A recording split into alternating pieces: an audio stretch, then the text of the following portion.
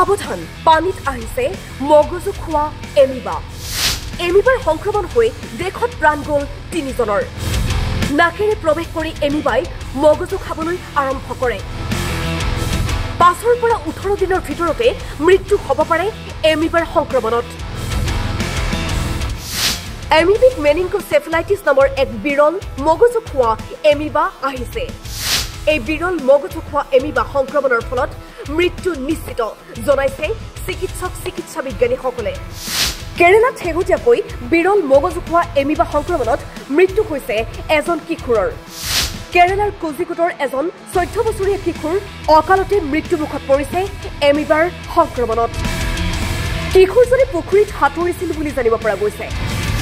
নাকেৰে সোমাইছিল এমিবা আৰু লেতেৰা পানীত এমিবাৰ বীজাণু এতিয়া বৃদ্ধি পাইছে। তিনি মাহত এয়া তৃতীয়টো ভয়ংকৰ ঘটনা আছিল। ইয়াৰ পূৰ্বে মে' মাহত আৰু জুন মাহত এই ৰোগত আক্ৰান্ত হৈ দুগৰাকী ছোৱালীৰ মৃত্যু হৈছিল।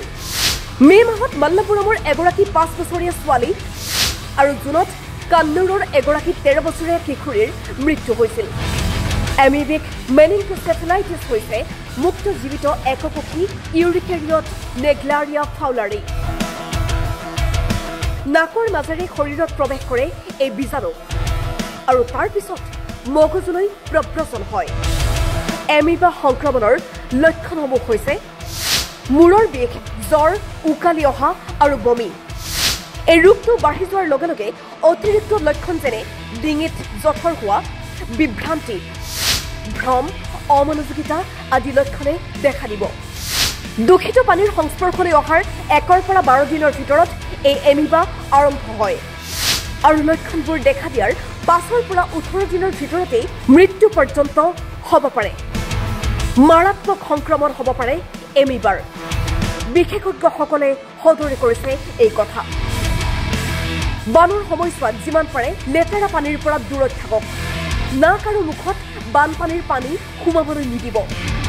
পুখুৰীত সাঁতোৰাৰ পৰা বিৰত থাকক এই সময়খিনিত। বৰষুণতো নিতিতিব যদি তিতে লগে লগেই চাফা হ'বলৈ চেষ্টা কৰিব। ভয়ংকৰ এমিবাৰ পৰা সাৱধান। National desk time eight.